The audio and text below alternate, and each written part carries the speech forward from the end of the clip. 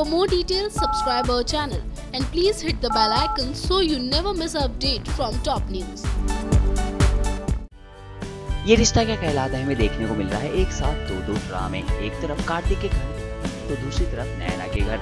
दोनों परिवार वाले कार्तिक नायरा की हालत को लेकर काफ़ी परेशान होते हैं। वहीं दादी दिव्यानी को कॉल करके नायरा की तबीयत जानती है तो दूसरी तरफ़ नायरा कार्तिक से बात करने की तमाम कोशिश करती नज़र आती है।